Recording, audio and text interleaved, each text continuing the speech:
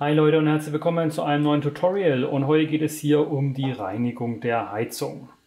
Damit man hier eben diese Lamellen innen drin reinigen kann, muss man erstmal hier oben dieses Gitter entfernen. Das geht ganz einfach, bei den meisten Heizungen hier dieses Seitenteil nach oben schieben und wegklappen.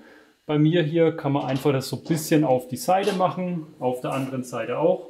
Und dann kann man hier so langsam, ja, oder auch ein bisschen schneller, dieses Gitter hier oben entfernen. Das legen wir dann zur Seite.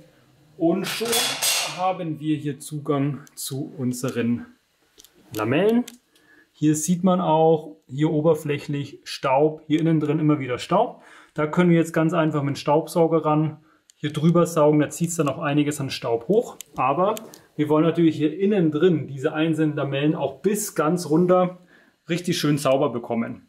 Und das geht entweder mit einem Föhn, kann man hier oben reinpusten, dann haut es das ganze Zeug hier unten raus und überall fliegt es rum. Es wird zwar sauber, aber man hat überall den Staub. Und es gibt natürlich auch Fälle, wie zum Beispiel im Badezimmer, wo alles so ein bisschen feucht ist innen drin. Da klebt der Staub richtig dran, da kommt man mit dem Föhn auch nicht mehr weiter. Und dafür gibt es dann im Prinzip eine Lösung.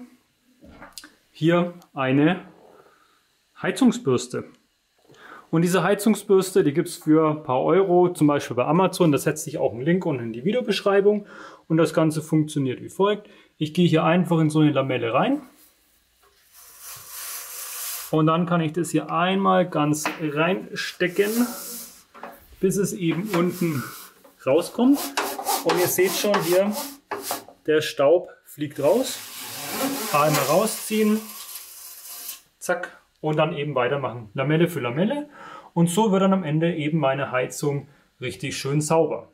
So einfach geht's. Einfach hier oben das Gitter abnehmen und mit einer Heizungsbürste jede Lamelle durchgehen und dann ist die Heizung auch wieder sauber. Ich hoffe, ich konnte euch damit etwas beibringen. Bis dann, tschüss.